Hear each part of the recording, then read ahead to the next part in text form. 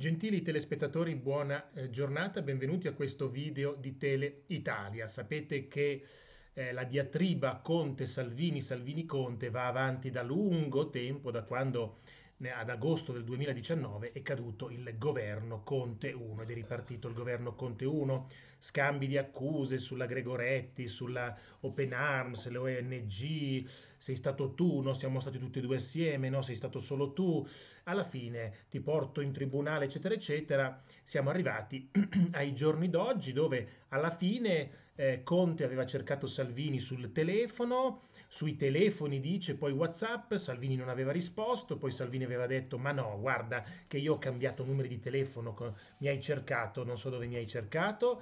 Alla fine poi Salvini chiama Conte eh, gli dice ti manderò delle mie proposte, poi finalmente si vedono, su richiesta non si è capito bene, c'è chi dice Salvini ha chiamato Conte, c'è chi dice Conte ha chiamato Salvini, non lo so, però alla fine si sono sentiti, si sono poi trovati con tutto il centrodestra, Meloni, Tajani per Forza Italia e Salvini per la Lega hanno parlato con Conte, c'era anche il ministro eh, del, del, dell'economia Gualtieri e anche l'altro ministro per i rapporti col Parlamento eh, Dinca.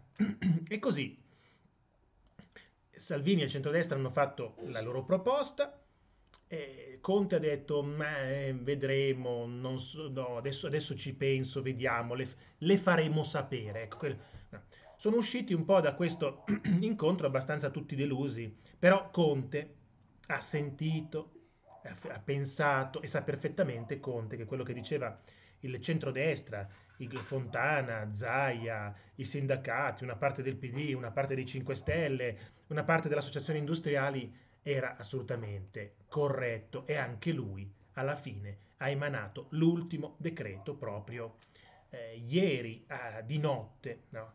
eh, e ha eh, chiuso l'Italia, come chiedeva per 15 giorni il centrodestra. Ma attenzione, ha chiuso l'Italia eh, non a chiave, ha chiuso eh, non tutto, non tutto.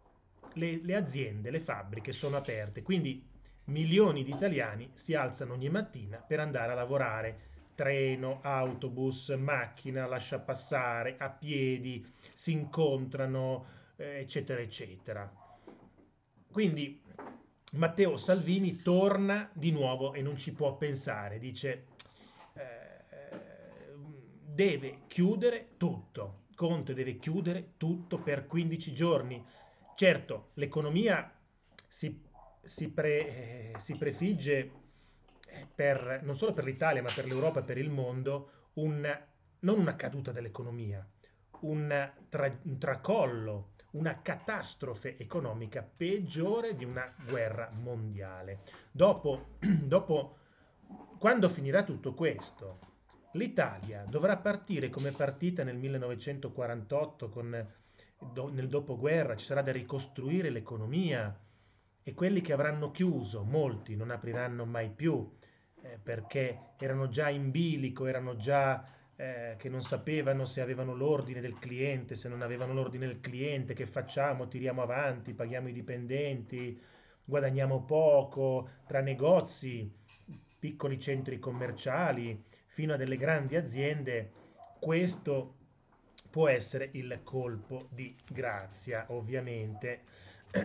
Quindi sicuramente ci sarà ridimen- un ridimensionamento delle attività economiche italiane spaventoso, spaventoso e quello porterà a una caduta dell'occupazione senza precedenti in Italia.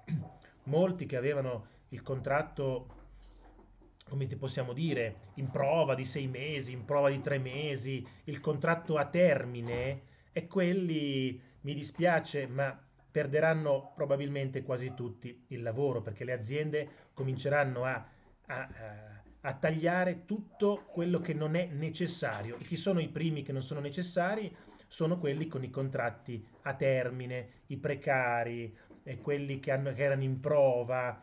Quindi le aziende ripartiranno con il minimo indispensabile, quelle che ripartiranno. Quindi sarà una situazione da dopoguerra, una situazione da dopoguerra dove tutti i negozi insieme ordineranno chi i fiori, chi i mobili, quindi ci sarà anche un, andranno in tilt le aziende che riapriranno perché gli ordini saranno spropositati per rifornire di nuovo i magazzini, di tutto. Quindi eh, quello che si prospetta è uno scenario assolutamente apocalittico, mai visto prima dopo, dal dopoguerra eh, fino eh, ad oggi. Ma eh, Matteo Salvini dice va bene la collaborazione, va bene il comportamento responsabile, ma ora non è più il tempo delle incertezze e delle regole a libera interpretazione. No? Sapete, in questi giorni cosa si può fare, cosa non si può fare. Dovrebbe essere abbastanza chiara una sola cosa, non si esce di casa per 15 giorni. Questo dovrebbe essere l'unica cosa inconfutabile e sicuramente senza possibilità di fraintendimento. Dice, ma cosa posso fare? Posso andare col cane a passeggiare, posso andare al parco e se vado in bicicletta mi fermano, ma il lascia passare in macchina e se vado a piedi gli dico che poi vado al supermercato, che vado a cambiare, a cambiare la lampadina, no? No, una sola regola, non si esce di casa. Questo è quello che dice Matteo Salvini e quello che dico anch'io, che ho sempre pensato, perché più di quello poi non si può fare, attenzione, quella è l'ultima cosa, è l'ultima restrizione, libertà eh, soppressa, personale, di libertà di movimento, si esce solo contingentati, che deriva da contingente, numeri certi, solo in alcuni giorni, solo in alcuni orari, solo dipende dai quartieri, con un cordone di sicurezza delle forze armate per andare a fare la spesa, uno alla volta, distante non un metro, due, tre, quattro metri uno dall'altro. Entrano dieci persone al supermercato per volta e non di più. Questo, questo è quello che si deve fare, ma a Giuseppi ancora questo non, non, pare vero, gli sembra di essere troppo cattivo, gli sembra di essere troppo da centrodestra, avete capito nella mente degli uomini di sinistra, no? Oh mamma mia, oh mamma mia, così mi diranno che sono un po' un fascio leghista, ecco. Ecco, nel senso, io non metto in dubbio la buona volontà di Conte di risolvere questa situazione, quella è indubbia, però c'è comunque un, un, preconcetto in lui e in tutti gli uomini di sinistra che fa sì che alcune decisioni vengano a priori scartate o limitate perché vengono indicate dal loro inconscio come un qualcosa di estremista e soprattutto di destra, no? E allora c'è questa limitazione che negli altri paesi non hanno. Guardate Trump cosa ha fatto oggi, ha chiuso tutti i voli provenienti dall'Europa per 30 giorni, chiuso, punto, ha firmato e nessuno ha detto niente nel paese. E beh, ci mancherebbe altro. Lui difende, difende la sua nazione, eh, come ha sempre fatto. Altri paesi hanno chiuso i confini con noi, ma eh, e nessuno dice niente, in quei paesi non c'è nessuna, nessun tipo di polemica, nessuna.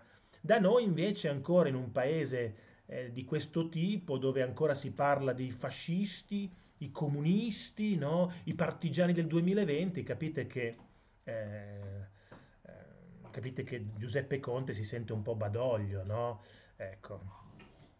E chissà se uno di questi giorni ascolteremo come nel 1945 l'annuncio, se non sbaglio era di Corrado alla radio, che diceva, eh, diceva così, una notizia straordinaria la guerra è finita, ripeto, la guerra è finita. Le forze armate tedesche si sono arrese agli anglo-americani. Ecco, probabilmente, spero presto che eh, riceveremo un, una comunicazioni a rete unificate che è stato trovato il vaccino. Il vaccino verrà distribuito nei prossimi giorni a tutte le strutture e a tutti i cittadini eh, quella mostruosità è finita, ripeto, è finita. Speriamo di dover eh, di sentire questo discorso alla radio, alla televisione e poi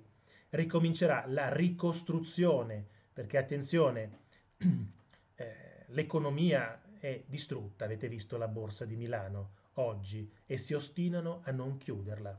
Per me, da economista, è inspiegabile.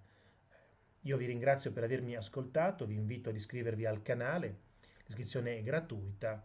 E siamo anche nella pagina di Facebook Tele Italia dove ci sono tutti gli stessi video presenti su YouTube che potete assolutamente condividere con chiunque voi vogliate in internet e fuori da internet.